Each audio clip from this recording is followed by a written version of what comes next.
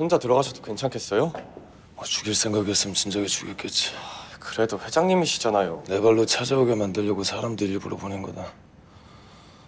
먼저 머리 숙이기 전까지 절대로 나 죽일 일 없어 걱정하지 마.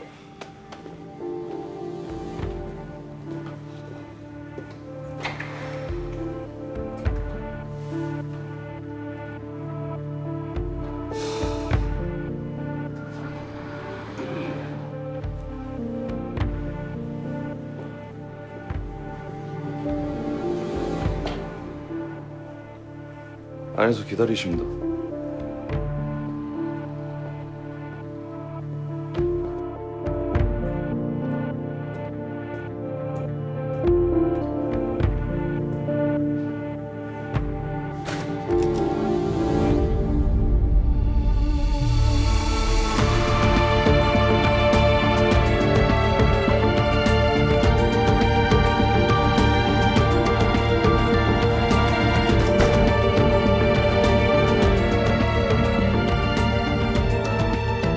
은하 씨, 무슨 일 있어요?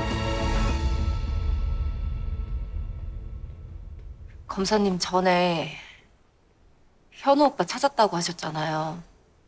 그땐 제가 못 물어봤는데 지금은 알아야 될 것 같아서요. 찾았다는 현우 오빠 누군지 말해줄 수 있어요?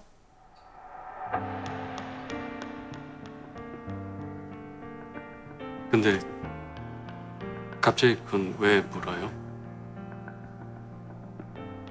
아, 그 제가 아는 사람이 현우 오빠로 보여서요. 혹시 서지원 씨가 현우 오빠예요?